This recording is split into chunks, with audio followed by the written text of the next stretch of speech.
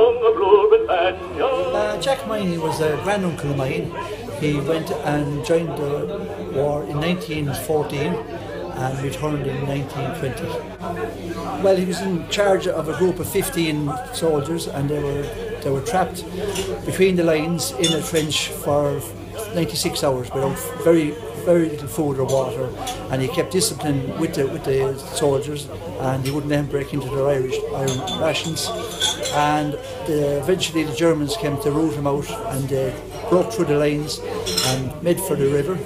And he held off the Germans while the other 15 crossed the river safely before he crossed himself.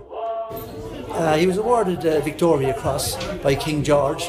Uh, he went to London for the week and he came back then and straight back into the trenches. That's that's what that's what happened.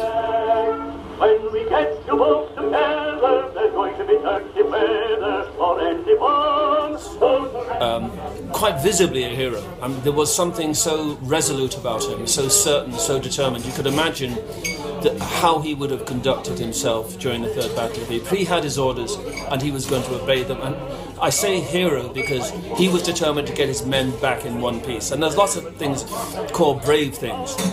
Heroics is something else, where you do your duty to other people.